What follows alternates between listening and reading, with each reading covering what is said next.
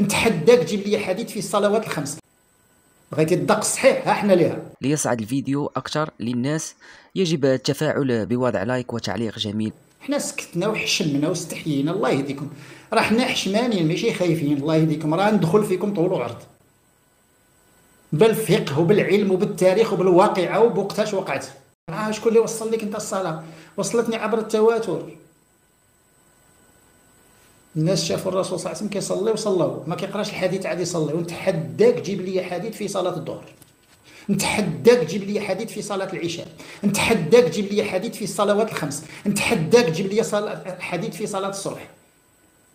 آه عقدت المتابعين ديال الدكتور فايد آه القرآن ليس في صلاة المغرب. آه ثلاث ركعات صلاة المغرب. القرآن. نتحداك تجيب لي حديث في عدد الركعات الصلاة. نتحداك تجيب لي حديث في عدد الركعات الصلاة.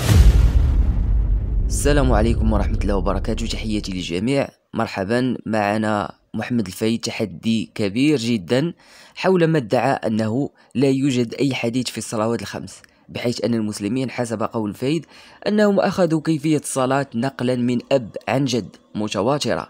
وليس هناك علم الرجال لا سند ولا متن. ثم تحدي آخر عن أوقات الصلاة.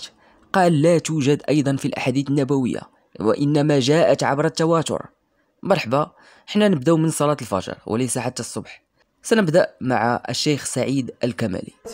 رضي الله عنها إذا سكت الأذان صلى رسول الله صلى الله عليه وسلم ركعتين خفيفتين. خفيفتين يعني من غير تطويل في القراءة ولا في الركوع ولا في السجود. هذه هي السنة في صلاة الفجر. هذه هي السنة في صلاة الفجر. نتحداك تجيب لي حديث في صلاة الصبح.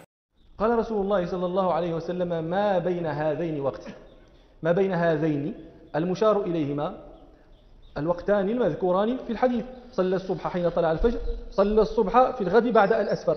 إذا قال له ما بين هذين وقت؟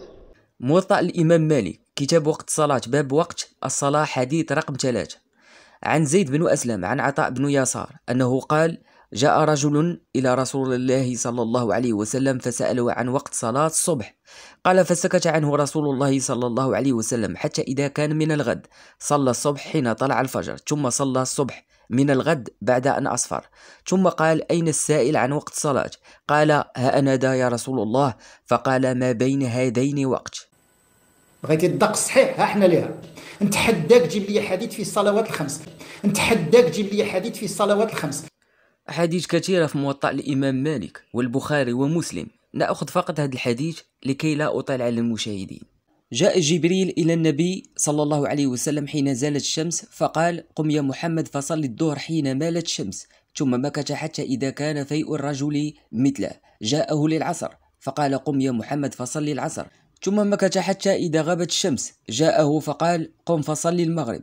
فقام فصلاها حين غابت الشمس سواء ثم مكث حتى إذا ذهب الشفق فجاءه فقال قم فصل العشاء فقام فصلاها ثم جاءه للصبح حين أصفر جدا فقال قم فصلي فصلى الصبح فقال ما بين هذين وقت كله. الراوي جابر بن عبد الله المحدث الألباني المصدر الصحيح النسائي الصفحة أو الرقم 525 خلاصة حكم المحدث صحيح.